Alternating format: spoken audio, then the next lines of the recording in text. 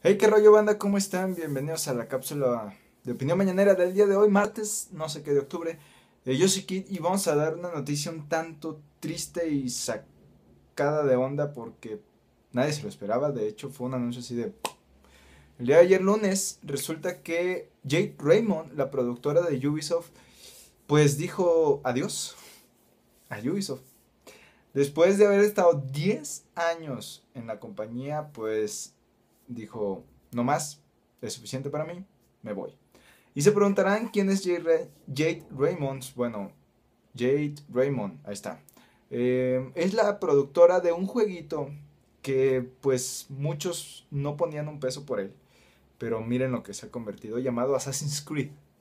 Ella comenzó la saga de Assassin's Creed como productora, la continuó con Assassin's Creed 2 y también ha tenido participaciones como productora en otros juegos como Splinter Cell, Blacklist y Watch Dogs más recientemente.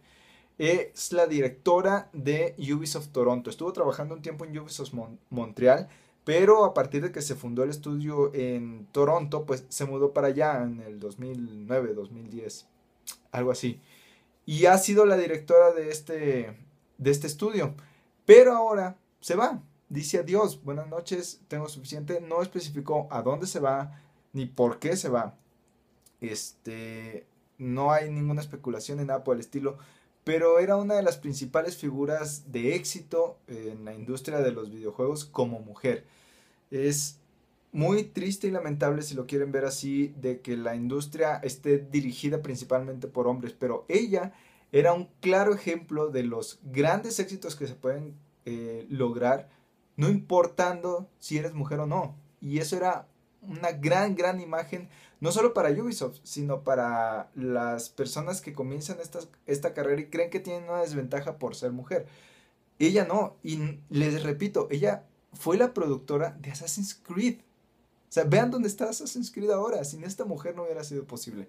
Eh, se queda a su cargo Alexander Parisiu, no sé cómo se pronuncia, de ser francés, no sé. Bueno, pero dice que Alex, tocayo mío, es muy capaz de hacer el trabajo que ella hacía y que sabe que el equipo de Ubisoft Toronto está en muy buenas manos y tiene una misión muy clara. Entonces, pues es una lástima que Jade Raymond se, haya ido de Ubisoft. No sabemos si va a ir a trabajar en otra compañía. Eh, anteriormente, pues ha estado en Sony, ha estado en Electronic Arts y pues Ubisoft fue la última. Vamos a ver qué le espera a ella en el futuro. Y pues no, seguir en su cuenta de Twitter, no hay de otra. Bueno, banda, es lo que les quería platicar el día de hoy. Eh, hay un video sobre libros, la trilogía de Jinetes de Dragones de Pern, que se publicó el día domingo. Entonces, si le quieren echar un ojo por ahí, anda en el canal, es el video anterior a este. ¿Ok? Bueno, me despido. Buenas noches, gracias por ver, suscribirse, comentar. Adiós.